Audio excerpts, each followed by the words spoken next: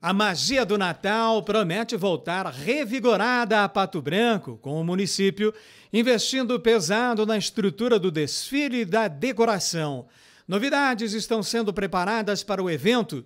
O lançamento do Natal de Pato Branco foi em cerimônia no gabinete do prefeito Robson Cantu. O que nós queremos é trazer o nosso povo para a avenida para ver um, um, um Natal diferente com muita surpresa e muita alegria. Tudo que nós temos, nós vamos levar para os trevos e principalmente para os bairros que nunca foram premiados.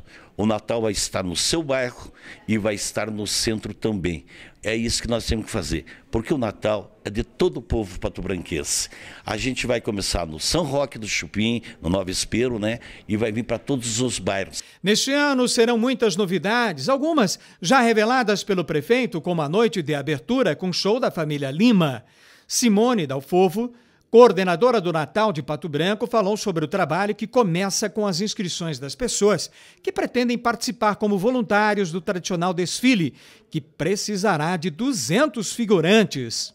Quinta-feira teremos lá no Bortote, no Barracão dos Desfiles, as inscrições para os voluntários que desejam desfilar no Natal. Como que vai ser? a seleção vai ser por ordem de chegada. Então temos 200 vagas. Os 200 primeiros que chegarem vão, vão desfilar tá? Então os menores de idade terão que estar acompanhados dos pais, levar RG e nós vamos preencher então a fichinha de inscrição lá na hora mesmo. Também vamos bater a foto de altura, tudo para separar pelas alas. A prefeitura não divulgou o valor do investimento no projeto de Natal de Pato Branco neste ano, mas promete reaproveitar o material já existente, inclusive com a ajuda da mão de obra dos detentos da cadeia pública de Pato Branco, utilizando o trabalho de 50 apenados.